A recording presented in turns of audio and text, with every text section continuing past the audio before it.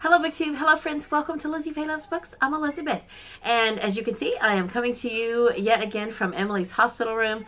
This is a different room than the one we were in last Friday, and we had to change rooms because she had to come back to the epilepsy floor. It's technically the pediatric uh, ICU floor, but this is where they have the epilepsy rooms because on Saturday night she had a good bit of seizure activity.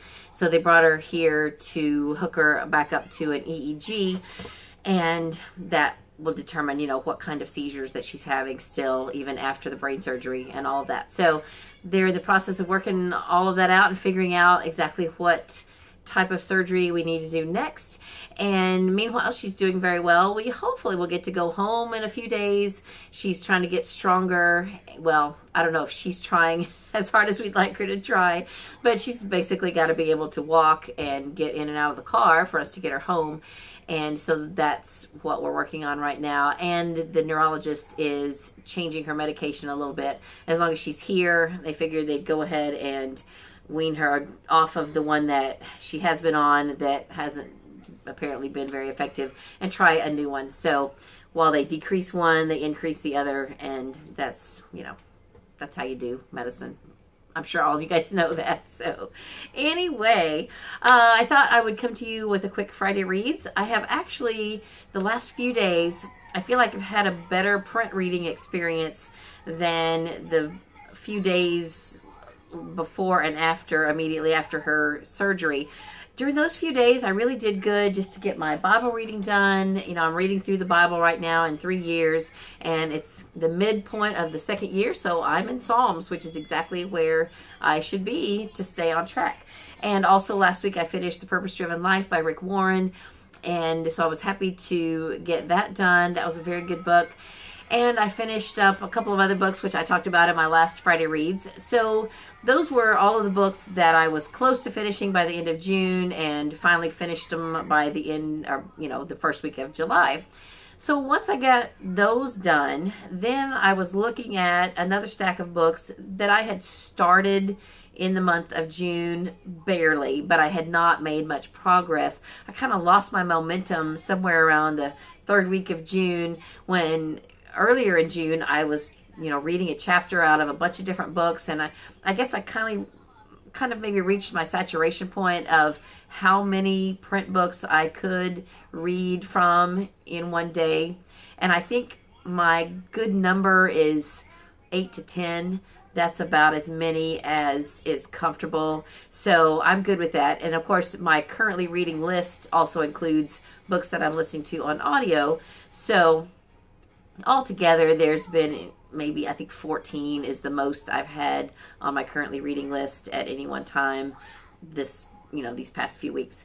Still not to the Shannon Riddler standards of 22 to 24 on my currently reading list. Shannon I'm just having a hard time getting getting to your level but uh, anyway it's a goal so what I am currently reading right now I have not finished very much these past few days. Um, well, I take that back. I, I think I finished a couple of things. I did listen to an audiobook on Hoopla. I, I borrowed it accidentally. I was just trying to put it on my list to come back to later, and I ended up accidentally borrowing it. It doesn't meet any of the summer reading criteria. Basically, this summer I'm reading Summer Romance Book Bingo. I'm reading the Sunshine State books for middle grade, and I'm reading some review books and my book club books. And this was a middle grade book written by Jeff Hirsch, who also wrote The Eleventh Plague, which I enjoyed. And this is called The Darkest Path. And I don't have a way to show you a picture of it or anything right now, but I really enjoyed it more than I thought I would. It was about a boy who was escaping from a militant religious group who's trying to take over futuristic America. And it was really good, I, I thought. Now, it could have had a little more to it. There was not a whole lot of, you know, world building and all of that. You basically just learned about the group and what they were about and what the situation was with our main character and his journey through, you know, being captured by them and then staying with them for a few years before he was able to actually escape. His brother also was captured, but his brother sort of bought into the whole thing. And he kept trying to you know tell his brother no this is not right. We need to try to go back home and all of that. So i thought it was uh, it was a good book. I got into it more so than the sunshine state book that i'm reading right now which is also kind of a not really a creepy book, just an adventure book. It's about a young boy. Well, it's I'm sorry, it's called Boy X, and I do not know who the author is. I will do my best to type it in the description but it's one of our Sunshine State books, and it's about a boy who has been injected with something to make it, it, heightens his senses. He is also on a weird kind of an island. His mother is there too, and she has been exposed to a weird virus, and so he's trying to get across the island to get help Meanwhile, he's having to cross through the jungle, and there's all these strange mutated creatures and animals and things like that. And um, it's it's pretty good, but I'm I'm not into it as much as the other one that I just finished. So anyway, those are what I've been listening to on Hoopla. On Audible, I thanks to Elizabeth Tyree, am now listening to The House at Riverton on Audible. The reason I didn't realize it was on Audible earlier is because on audio it is titled The Shifting Fog. And it does have a few extra things on the audio that the print book doesn't have. I decided to go ahead and continue reading the print book, but I'm also listening to it on audio. We are doing a read along of this on my Goodreads group, Lizzie Faye's Comfy Corner. And if you participate with me, then you also get a point for Sarah's Summer Romance Book Bingo. So some, I think most of the people who are reading it with me are not doing the bingo, but if you're doing the bingo and you want to read this, then jump on in. We are supposed to be about the halfway point right now. I'm a little behind. I'm not quite there, but we're so laid back. Just jump in, read it whenever you feel like it, and comment. There uh, is a discussion thread now for all six of the parts. There's actually only four parts to this book, but for the purposes of our six week read along, I divided the first two parts into two parts, so that makes six. Anyway, we're trying to finish it by the end of July. So jump on in if you haven't already. And if you have started reading it, be sure you go on my Goodreads group and comment about it. I would love to read your thoughts. And as if I could read your thoughts. you know what I mean. I would love to read your typed thoughts. anyway, uh, the other things that I am currently reading on audio, also on CD, I have started Lilac Girls by Martha Hall Kelly. This is our library book club book for next Thursday, and I'm probably not going to get it finished and I may not get to go to book club. I have already missed my mystery book club that I lead at the library. It was yesterday. I didn't get to go. I had to stay here at the hospital with Emily, and that's okay. It, everything was covered. I'm sure they had a good discussion. For yesterday, they talked about, oh goodness, what is the name of it? It's that Molly, Molly MacRae Highland Highlands bookshop mystery Plaid and plagiarism. That's the name of it. So that was a cute book. I read that la- or listened to that last month in, in preparation for this month's book club and didn't get to go. So now the book two i have it currently checked out on hoopla. It's called scones and scoundrels. And so far those are the only two books in that series. So that's what i'm doing on audio. And in print i am also enjoying another, uh, a couple of other Sunshine State books. So these are middle grade books that I am reading in preparation for next school year. Breakout by Kate Messner. I am about a little over half done with that, and I'm enjoying that. And this one I've just recently gotten back into, and it's really cute. It is called Slider by Pete Hautman. It's about a boy who is into eating contests, and his celebrities are people who have won eating contests and I need to look up and see if any of these people he's actually talking about are real people. I suspect that they are. And so far this is really fun. I am not far into it. I don't know if you can see from there, but it's really cute so far. And then I am also enjoying a pioneer Christian romance. This is City Girl by Lori Wick. It's book three in the Yellow Rose trilogy.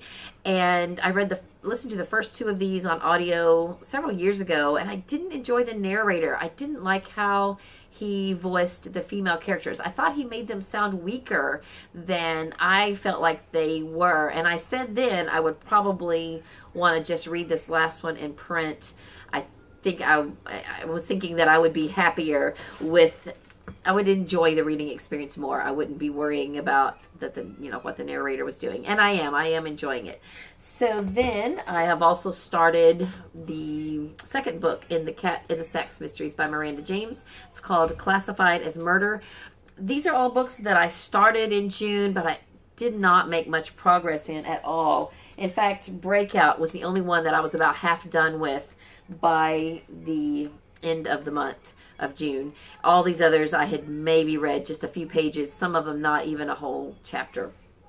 And that is all of those. That's everything that that I started in June except for these two which I have not picked up yet since June ended. I am reading The Little Tea Shop on Main by Jodi Thomas, and I'm a little ways into it, but I just haven't picked it up yet. And also When Life Gives You OJ by Erica Pearlman. I started this for the Buzzwordathon last month because it has the word you in the title. And even though I think it's a really cute book, I just have had a hard time really diving into it. I'm still going to read it. I I did this with the last Buzzwordathon book. It was a middle grade book, and it took me like an extra month to get it read. So I don't know. I don't know what my problem is, but I love the cover. It's super cute. It's about a girl who really wants a dog, and her grandfather fixes her a practice dog out of an orange juice jug. And so she calls him OJ, and that's about as far as I've gotten so far. But she's got this practice dog so that she can show her parents that she is responsible enough to have a, a real dog. So that's cute. And the littlest tea shop, or the little tea shop on Main, is about some friends who have been friends ever since they were kids. Now they have finished high school, and each has gone a separate direction and now I believe circumstances are going to be bringing them back together.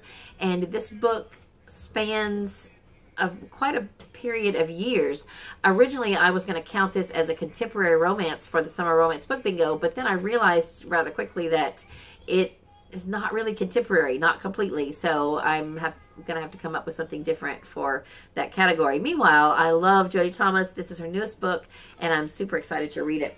Then I brought two other books with me that I have not really started yet. One of them I read a few pages of, but I, am going to have to start over. This is Ever Faithful by Karen Barnett. This is, uh, this is my review book that was sent to me by Waterbrook and Multnomah. It's one of my review books that was sent to me. And I loved the first two books in the series. I listened to those on audio. I need to check now because those were on Hoopla. And by this point, I think this book is out now. And um, by the time I get around to finally reading this in print, the audio may be released on on Hoopla. So I need to check and see uh, if it is, and I'll just definitely go ahead and listen to it. But uh, I have the print copy here. I love the cover; it's awesome. And this is from the Vintage National Park series. So all these books take place in the 20s and 30s, and I have really loved the first two, and I know I'm going to enjoy this one. Then this one is the first book in the Fair Acre series by Miss Read. I had been trying to read the Thrush Green series. Last year, someone on Instagram did a Miss Read along, and for some reason, I only got two of them read. I think I started out being behind, and I just never could catch up. So this series is a little bit longer, and they're starting this month with this first book. I think because book six is maybe a Christmas book, so that way it works out where they can read you know on through and and catch the christmas book at christmas time and then next year finish out the series so i thought rather than trying to catch up it might be more fun to just go ahead and start Fair Acre and read it with the group if I can keep up. They're not really long books. They're just very slow paced, very enjoyable, but not all of them are on audio, at least not that I can find. And I always do better with audio. And it's written in, the, the style is just, I don't know, it's just not conducive to reading quickly. I guess is about as good as I can say it. Although very enjoyable, I just have a lot a hard time getting through them quickly. I don't know any other better way to say it, but that makes it sound like I don't enjoy them. But what I've read so far, I have really liked. So anyway, this is something that I'm going to attempt to go ahead and read in July, and hopefully then I can keep up with the group that's reading the these uh, books on Instagram. So that is about all I have to tell you this for this Friday reads. I don't even know how many books I have finished exactly. I should have written that all down before I started filming, but at some point, maybe by next week, that'll be middle of the month. And actually, I guess this week is really more middle of the month, but by next week, I'll try to do more of a mid-month check-in and talk about everything that I finished by that point. So anyway, that's all I have for this video. I hope you're having a great day. Read a good book, and God bless you.